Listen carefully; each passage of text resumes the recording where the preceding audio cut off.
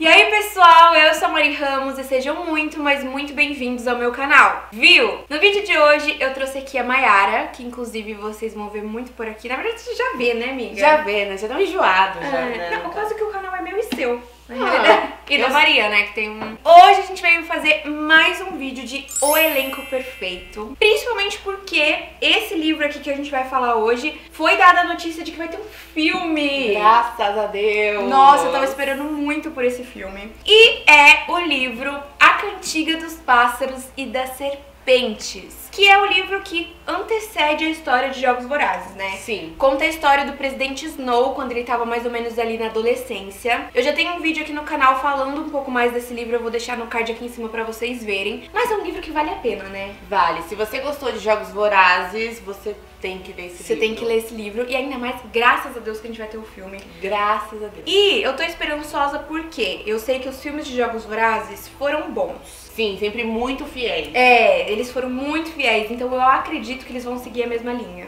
Se Deus quiser. E aí vai ser muito legal.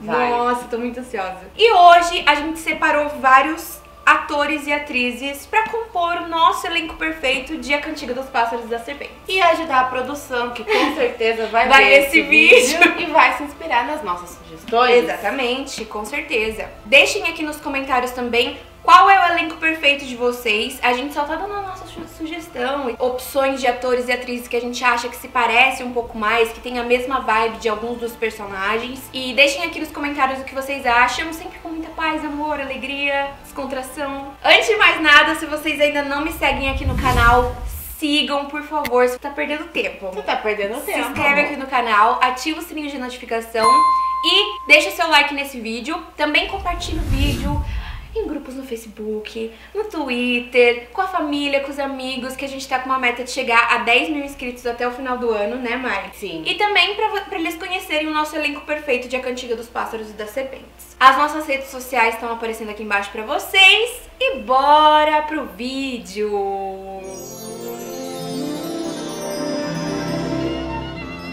Foi um pouco difícil porque esse livro saiu acho que em maio do ano passado e a Má comprou na pré-venda, então É. ela leu o livro e já passou pra mim, então tipo, lá pra junho já tinha lido, já tinha discutido, já tinha surtado, Já tinha feito tudo. E aí passou-se um ano e cá estamos. E cá estamos, a gente, inclusive, muitas das coisas eu lembro assim por cima, mas os detalhes, detalhes mesmo, eu não lembro tanto, sabe? Por isso que a gente teve que pesquisar de novo os personagens. Os principais, principais, a gente já tinha uma ideia, né? É. Porque a gente conviveu assim com eles a história inteira, mas aqueles mais secundários a gente precisou lembrar um pouco mais das características e tudo mais.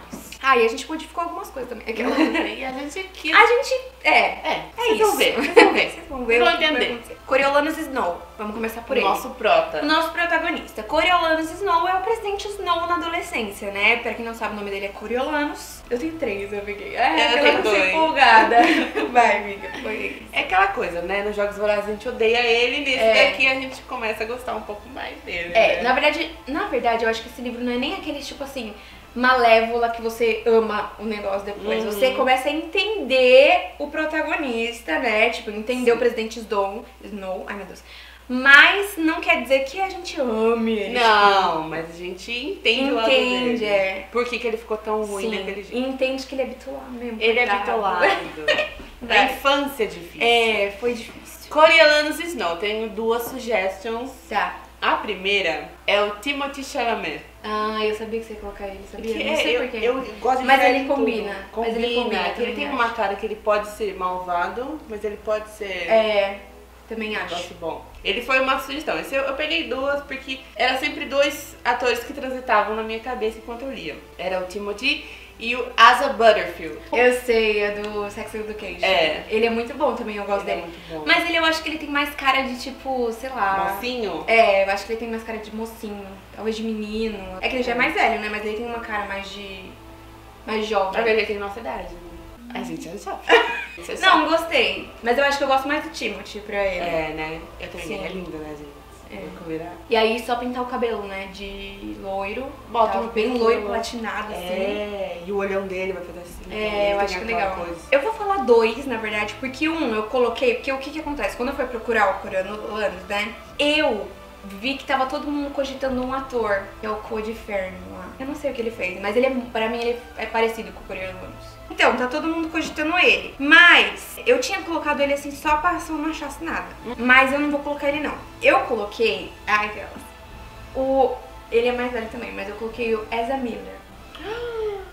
Sim, maravilhoso. Porque eu acho que ele tem um negócio mais suspense. E, e ainda que ele traz esse negócio assim, tipo, posso ser do bem, mas também posso ser do mal. E, e é forte, né? Porque tem que. O Coriolanus tem esse negócio de não transparecer o que ele realmente tá pensando, né? Sim. Então eu acho que o Ezra Miller ia ser top. E ele já fez um psicopata, né? Exato. Então, o psicopata ele manja já. Sim. E Olha. aí eu gostei muito, de- eu acho que ele ia funcionar. E aí eu coloquei, quer ver? Eu coloquei esse aqui, mas eu acho que talvez não funcione muito, tá? Mas Hum. eu tô mais no Ezra Miller. Esse Nicholas Holt. Ah, tá. Eu acho que ele ia ser legal também, acho que funcionaria, mas eu tô mais no Ezra Miller. É, acho que eu também tô. Mais no Ezra Miller. Porque ele também tem uma cara mais jovem, né? É, então, O é. Nicolas, ele tá. Ele tá um pouco mais velho. É. É. Claro que vai ter toda uma caracterização. Caracterização. Põe a caracterização aí no, na mente de vocês. Vamos falar tigres? Vamos, já que a gente tá. Vamos no núcleo Snow, então. Sim, no Chris Snow. Pra mim foi muito difícil achar tigres, mas eu levei em consideração o quê? Que eu acho que é, ela é prima do Coriolanus, né? Mas eu acho que ela não é nada parecida com o Coriolanus. E eu levei em consideração que no filme dos Jogos Vorazes ela tá toda modificada, né? Porque ela fez um monte de cirurgia, essas coisas assim, pra Sim. virar um tigre. Aí eu coloquei Chelsea Zeng. Porque eu achei que é, vai seguir mais a, a linha, entendeu? Vai numa vibe. E também porque ela precisa ser um pouquinho. aparentar ser um pouquinho mais velha. Eu peguei a Anya Taylor-Joy, que ela fez a... Gambito Não, da Rainha. da Rainha. Então eu acho que ela funciona, que ela tem essa coisa meio... Uma Blasé. cara misteriosa. É, ela tem, Sim. uma, sabe, uma presença. É, eu acho que a Tigres, ela, tipo, ela tem uma presença, mas ela. Sabe aquelas pessoas excêntricas? Uhum. Eu acho que ela tem esse negócio de excêntrica. E aí eu acho que funciona mesmo também. Lady Vó. Lady Vó. Ai, gente. Só eu imagino a Lady Vó, tipo assim, sabe quando você tá assistindo um filme e aí tem um personagem que aparece um pouquinho assim, mas é, é aquela atriz Uhum. top, que você fala assim, mano, essa atriz antigona, atriz boa, versátil, assim. Daí eu coloquei duas bem famosonas, assim, pra justamente chocar o público. Falar assim, olha lá quem tá lá. Entendeu? Aí eu coloquei, a primeira é a Emma Thompson, né?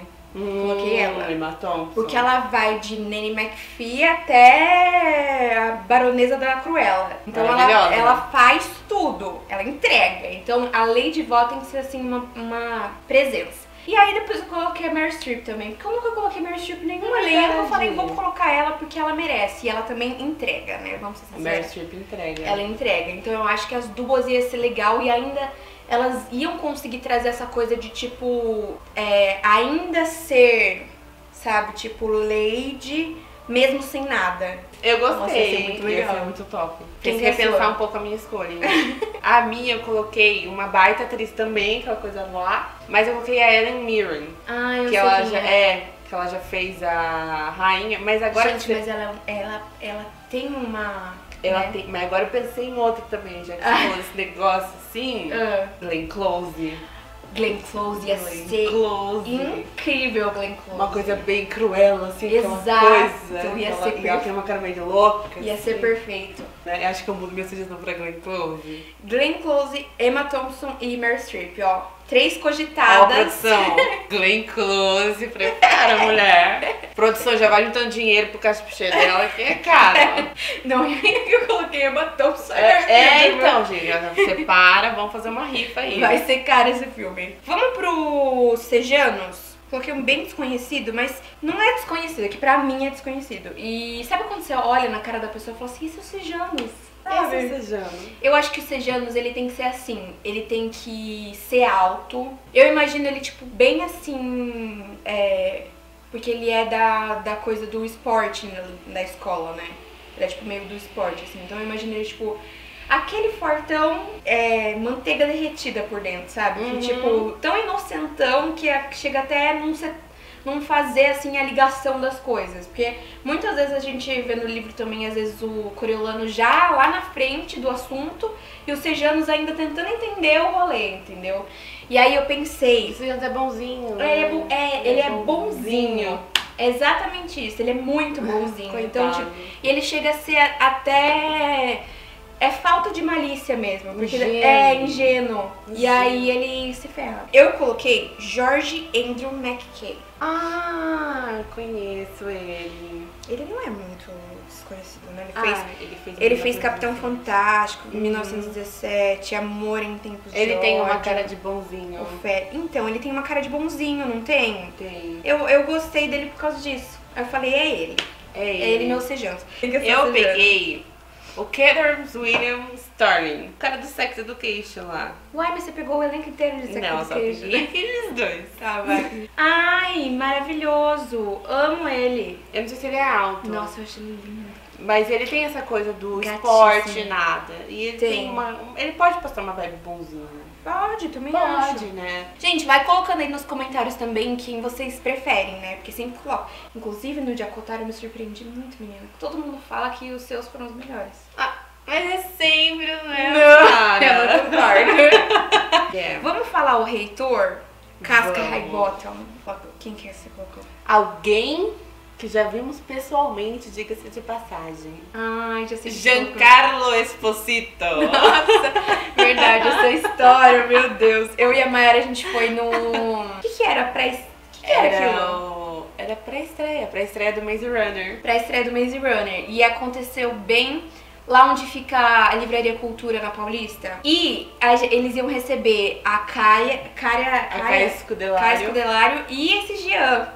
Que fazia Maze Runner. E aí a gente foi, eu, você, o Matheus. E a na gente, muvuca. Na Muvuca. Nossa, gente, tem tanta história A desse gente viu as costas deles. Foi demais. Foi ótimo! Eu vi o pé dele, porque eu, eu, não, eu não era tão alta, eu, eu, eu era a mais baixinha dos dois, então eu ficava ali na parte do, das pernas. Ó, galera, a gente lutou pra chegar perto, hein? Não, ele é maravilhoso, eu gosto dele.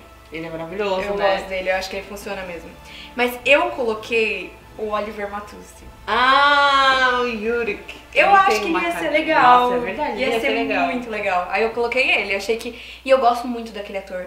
Ele já fez várias outras coisas, ele tá fazendo agora. Animais Fantásticos. Três. É verdade, é verdade. Sim. Ele tá no elenco. Babado. Sensacional. A hora que eu vi Babado. que ele tá no elenco, eu já falei, gente, eu quero saber quem ele é, eu quero saber. Eu adoro esse ator, eu acho ele maravilhoso, versátil. E esse personagem é um bom personagem. Exato, tem toda uma dramaticidade, um peso, assim, eu acho que ele vai trazer. Clemência. Eu coloquei você vai dar risada. Ah! Porque foi, a gente conheceu ela junta. A gente conheceu ela junto? Conhecemos. Quem? Emily Rudd. Aí você fala, nossa, Mariana, quem que é essa? Quem lembra aqui da Rua do Medo? Não, calma, mas qual que você pegou? Não, foi, foi a que a Porque, gente gente, gostou. a gente assistiu. Foi a, a, a, a Cindy. A irmã essa. da, irmã da Mad. É. Ah, legal, legal, legal, legal. Acho que ela tem bem cla- a cara de Clemente É, mesmo. porque eu imagino bem aquela pessoa certinha, sabe? Que, tipo, anda toda... Sim, gosto. sabe? Gosto. Faz tudo certo. É. E aí se ferra, coitado. Todo Mais mundo se uma. ferra nesse livro. Ninguém se salva Ninguém se... Mas jogo é segredo desde Jogos Vorazes, né? Que Não essa tem nada pra ninguém. Não tem ninguém. Não gostei dela. Eu coloquei essa aqui, ó. Angry Rice. Menina, eu cogitei. Você cogitou? Cogitei. Eu achei ela cara de clemência, assim, só que eu acho que a minha clemência que eu pensei é a certinha, mas eu já levei ela um pouco pro lado de mais frágil, entendeu? Um pouco mais frágil, não tão forte assim, sabe? Mas eu acho que a sua entrega bastante também. Eu gostei da sua. Eu também gostei da sua, amiga. Tá bom, daí a gente deixa o Ah, povo deixa, deixa, vocês escolhem quem é melhor.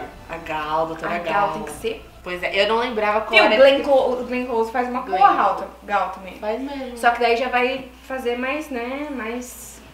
Mas o quê? Vai fazer mais parte do filme.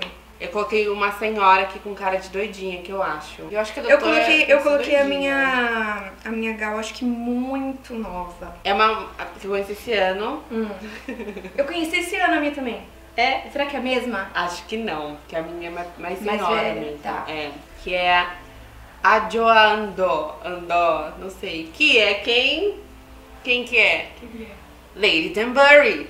Ai, maravilhosa. Maravilhosa. Maravilhosa. Vai vai contrastar? muito, porque a, a Gal é. Como é que fala? Não é, Do nem, mal, não né? é nem fora da caixinha, é tipo lá em Júpiter, assim. Mulher, ela É. é insana. É. O que, que você colocou? Eu coloquei, é, mas ela é mais jovem, mas acho que passa também. A Catherine Ham, que é a nossa lá do WandaVision. Ah, Eu acho que vai ela tem fazer uma boa cara de-. Nossa, é verdade. E ela já faz lá a bruxa no WandaVision. E aí a gente pode trazer ela pra um gal assim mais séria e mais tipo. Tem uma cara de louca, Ela né? tem uma cara de louca. Funciona uma É disso que eu tô louca, né? falando, sabe? E aí eu achei que ela ia ser sensacional como gal. Porque daí ela já entra numa, numa, numa linha assim meio coin, entendeu? É, É exatamente. nesse, nesse quesito que eu tô falando. Vamos de Lucy Gray? Lucy Gray, a nossa prota também. Exatamente. Dá pra considerar ela como prota também, né? Ah, com certeza, Tipo, né? Ela é o Coriolanus. Eu coloquei duas, mas a primeira minha eu já não quero mais. Aquelas. Hum, Não, eu coloquei ela porque eu achei que ela parece a Lucy Gray que, que eu acho que é. Mas eu não, não sei se eu gosto muito dela como atriz, sabe? é geminiana, né, amores? Eu coloquei a Laura Harrier, Ah, que ela é de Homem-Aranha. Sim. Só que eu não gostei muito dela de Homem-Aranha. eu não gostei muito dela também Homem-Aranha também. Só que eu coloquei ela porque eu falei assim, eu quero essa, essa esse perfil. Esse perfil. Entendeu? E aí eu, eu fui atrás dos perfis e tal, e aí eu coloquei essa aqui, ó. Eu coloquei a Amanda Stenberg. Amanda Stenberg. Eu achei ela a cara da Lucy Gray pra mim. Nossa, bem Lucy Gray. Bem Lucy Gray. E, inclusive, calma aí, o que, que ela fez? Porque eu tô achando ela a cara da Rue. Ela é a Rue! É a Rue! Gente, ia ser muito legal isso. Imagina se a Lucy Gray fosse. Lucy Gray. fosse a Rue. Não, mas ia ser muito legal. Agora que eu tipo, achei a atriz eu- Eu, eu procurei, e, inclusive eu achei ela porque eu, na época que lançou Pantera Negra, ela foi cogitada pra fazer Pantera Negra, no lugar daquela irmã do Pantera Negra. É, Ah, tá, tá. Só que ela não aceitou porque ela disse que ela se considerava uma pele negra muito clara pra poder fazer o filme. E aí ela não foi. Só que ela, tipo, tá sendo assim. Uma revelação em Hollywood, sabe? Tipo, muito boa atriz, não sei o que e tudo mais. Então eu, eu gostei, sabe, dela, assim. Uhum. E agora que eu fui ver que ela. Eu tava vendo a foto dela, eu falei assim, nossa, parece a Ru. Cara, é. E é a Ru! Gente, que plot.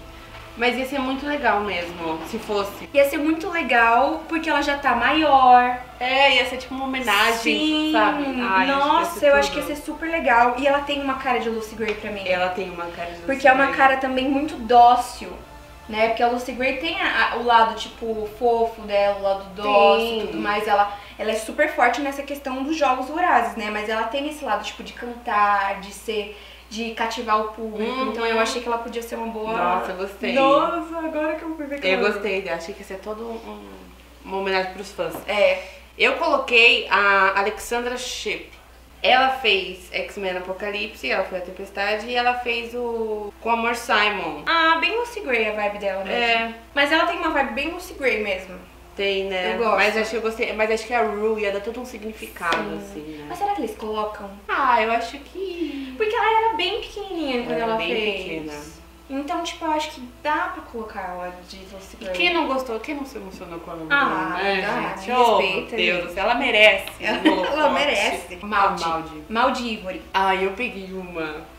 Que assim, eu acho que ela é mais velha. Nossa, mas foi difícil colocar essa. que a Maldi porque- tem 12, né? É, ela é bem novinha. Eu acho que a minha, inclusive, ela é mais. Eu peguei nova. uma que eu conhecia ela novinha, mas hoje em dia, obviamente, ela cresceu. Mas assim, eu acho que ela ainda entrega um pouquinho novinha. Que é a Priya Ferguson. A Erika de Stranger Things. Ai, maravilhosa. E ela tem que ter um ar meio, tipo, fala as bobagens. assim, né? é, ela tem umas coisas enxeridinhas, Sim, assim. eu gosto dela. Eu também gosto. Mas acho que ela já tá um pouquinho mais velha mesmo. Eu acho porque que ela tá. quando ela fez Stranger Things, ela deve, devia ter uns 10. É, 11. então. Já E passou agora? uns 2, 3 anos. É, mas, Mas eu acho que dá, acho que boa. dá. É nessa vibe. É. Eu coloquei Marcy Martin. Essa daqui. Fofíssima. Ah, fofíssima. E eu acho que ela tem uma cara assim de. Mas eu acho que ela tem uma cara assim de mal, malde pra mim, sabe? Tipo, bem fofa, assim. Ah, não, ela tem. Ela. é, não. Ela é mais velha, gente. Mas ela passa por. aquelas- É. Mas é nessa É, vibe que eu nessa queria, vibe. entendeu? Eu vou colocar a foto exatamente na vibe que eu queria. Não tem mais criança. Tem só aquelas mais famosas, assim, sabe? Tipo, o menininho do quarto de Jack, essas coisas assim. Mas que também já cresceu. Que já cresceu, só que daí é muito difícil achar criança. Vai ser uma criança desconhecida, certamente. Beleza, é nessa vibe É do. nessa do- vibe nessa de criança, serieleps. Exatamente. Agora, por último, a gente vai colocar o Billy Talp, né? Que é o cara do. É que, tipo. Tem vários do mal aí nesse livro, mas ele é meio que o chato. Ele é o chatão. Ele é o chatão, O chatão. que. O heterotop do, do rolê. Chatão. Fica. Eu coloquei um que eu conheci. Conheci. Essas coisas esse ano. Eu Uma assisti festa que- aquela série Mare of Easttown. E daí tem um plot lá do casalzinho e tem um boy lá, o- que é esse menino, que ele é o chatão.